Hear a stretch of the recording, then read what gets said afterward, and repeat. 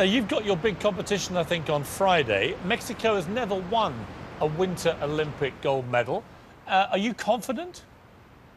No, I'm not confident to win to win a Winter Olympic gold medal. I'm confident to maybe you know make uh, my country proud of me or pr- uh, have some pride, because we've had a lot of negative uh, press about other things. So this is a great way of uh, kind of promoting Mexico in another way and giving just a good vibe for the country, which is what it really needs sometimes.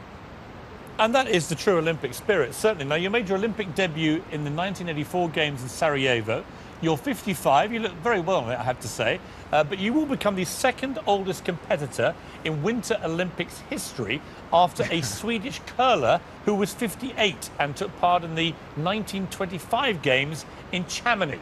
So you're, you're the oldest guy to compete in these Olympics for nearly 100 years. How do you feel about that? You had you had to rub this in, didn't you? it's actually not something I wanted to be proud of, or I didn't, you know, I didn't want to be famous for being the oldest in something. But um, everybody's asking if I'm going to do like the next one, so I'm the oldest, and definitely just because of that, I won't want to do it because uh, that's not a, a record I want to have. But I'm proud that it's not in curling, but in alpine skiing, which is like uh, something a bit more, I don't know, more glamorous and more cool than, than curling. Although I must say, probably curling would be a little safer.